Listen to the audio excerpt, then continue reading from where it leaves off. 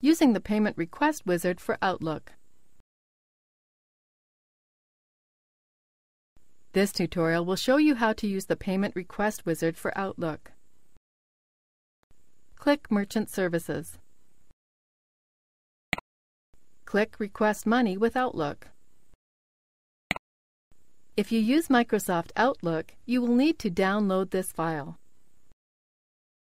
If you use Outlook Express, you will need to download this file instead. Click the file you wish to download. Click Save File. You may be asked where you want to save the file. For this tutorial, it is recommended you save it to your desktop. Once the file has downloaded, go to your desktop. Click OK. Right-click on the zip file. Extract using your preferred archive program such as WinZip or ZipGenius. If you do not have a program capable of this, Windows XP comes with a program built in to handle zip files. Just click Extract here. Click Extract. The program will extract all the files in the archive. Once it has finished, all the files will probably be put in a folder. Double-click the folder. Double-click the exe file. The Install Shield wizard will start. Click Next. This screen will ask you where you want to install the program. If you are unsure where to put it, leave it at the default. Click Next. Click Install. This bar will show you the progress of the installation. Go to Outlook.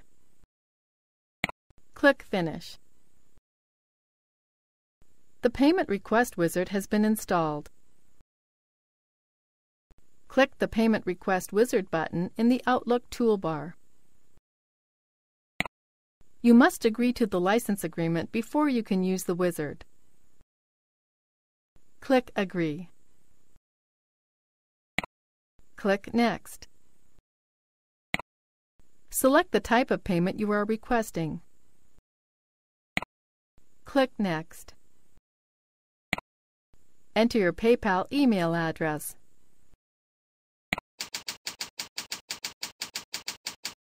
Enter the amount. Select the currency. Click Next. Select the button type you want to appear in the email. Click Next. You can review your information before you send it. Click Create. Enter the email address of the person from whom you are requesting money. You can edit the content of the email before you send it. When ready, click Send. There is an even shorter way to request a payment using the wizard. Click New. Select the type of payment you are requesting from the drop-down list. Follow the same steps as before until you complete the wizard. This is the end of the tutorial. You now know how to use the Payment Request Wizard for Outlook. Thank you for watching our tutorial. Be sure to let us know if you have any questions.